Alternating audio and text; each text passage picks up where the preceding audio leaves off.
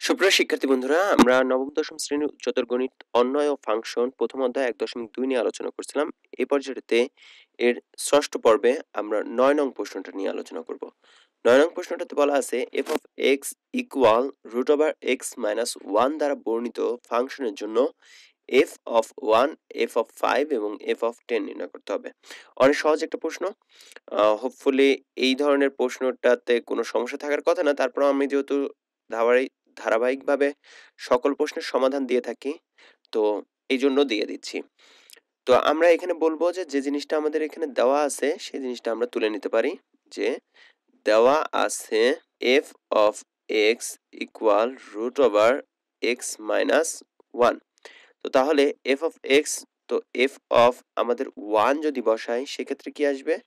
Root over এক্সের পরিবর্তে one minus one that's why root over one minus one মানে হচ্ছে জিরো সো আমরা বলতে পারি যে আলটিমেটলি সেটার রেজাল্ট হচ্ছে জিরো তাই তো? তো এটা পাইলাম। আবার যদি আমি এফ অফ ফাইভ বসাই এই জায়গাটাতে, তাহলে সেক্ষেত্রে কি আসবে? এক্সের পরিবর্তে ফাইভ তার মানে five minus one that is why root over four পাঁচ থেকে এক বিয়োগ করলে four that is why two এই জায়গাটাতে অনেকে বলে যে কেন আমরা প্লাস মাইনাস টু দিলাম না? প্লাস মাইনাস টু এই জিনিসটা নিয়ে কথা বলব, আসছি। তার আগে এফ অফ টেন তাহলে f of ten equal root over তাহলে ফাইভের এই জায়গাটাতে টেন হবে। Ten minus one that's why root over nine নাইনকে root over করলে থ্রি তো এখানেও প্লাস মাইনাস থ্রি দিতে পারতাম। কেন দিলাম না? দেখুন যদি আমি মাইনাস টু দিতাম এক্স এটার মান, তাহলে minus two root over x minus ওয়ানের জন্য মাইনাস টু সো মাইনাস টুকে স্কোয়ার করলে প্লাসের ফোরই হতো, তার মানে x minus x minus one equal আমরা পাইতাম কি? প্লাস ফোর দেন ওয়ানটা ওই পাশে চলে গেলে এক্স ইকুয়াল কিন্তু আমরা ফাইভ পাইতাম। এটা দেখুন ফাইভ পাইতাম, যদি মাইনাস ওয়ান দিতাম, তারপরেও কিন্তু এফ অফ ফাইভ আসে। কিন্তু সমস্যাটা হচ্ছে যে যখন আমরা এই মাইনাসের মানটাকে কাউন্ট করব, সেক্ষেত্রে যদি ওয়াইটা নিই, বিপরীত ফাংশনটা নির্ণয় করতে যাই রেঞ্জ নির্ণয় করতে যাই, তখন সেক্ষেত্রে আমাদের জন্য সমস্যা হয়ে যাবে। তখন রেঞ্জ নির্ণয় করার ক্ষেত্রে এক্সের মানটা যখন আমাদের, যদি আমরা এই টোটাল মানটা এফ অফ ফাইভের মানটা যখন মাইনাস নিচ্ছি, তাতে করে এই মানের ক্ষেত্রে দেখা যাবে ঋণাত্মক মান আসবে। আর ঋণাত্মক মান আসলে সেক্ষেত্রে আমরা এটা গ্রহণ করতে পারব না কারণ রুট ওভার নিচে ঋণাত্মক মান চলে আসলে।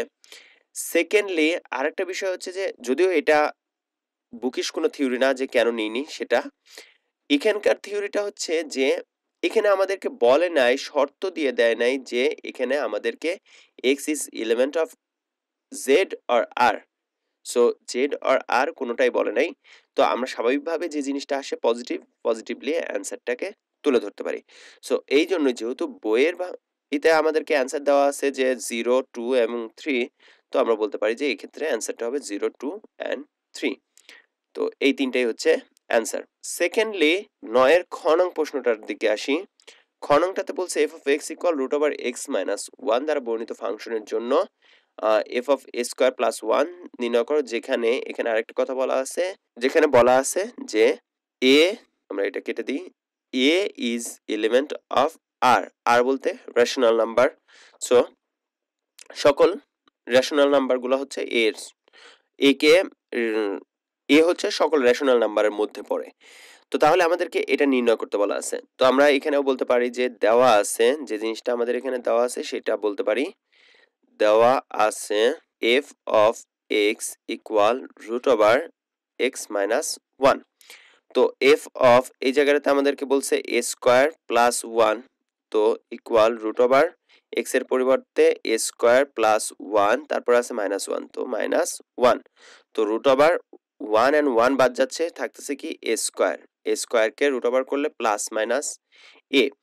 এখন ব্যাপারটা হচ্ছে এ যখন রেশনাল নাম্বার তখন আমরা এটা বলতেছি। কিন্তু যখন আমরা বলতেছি যে f of a square plus one তখন আমরা বলতে পারি যে শুধুমাত্র পজিটিভ মানটাই এটার ক্ষেত্রে আইডেন্টিফাই করা সম্ভব, যার কারণে আমরা এটা বলতে পারি যে এটার মান হবে এ প্লাস মাইনাস হোক আর যাই হোক না কেন, সেটা হবে শুধু এ অ্যান্সারটা এরপর আসুন নয়ের গণং প্রশ্ন বলছে যে f of x equal root over x minus one দ্বারা বর্ণিত ফাংশনের জন্য f of x equal five হলে এক্স নির্ণয় করো।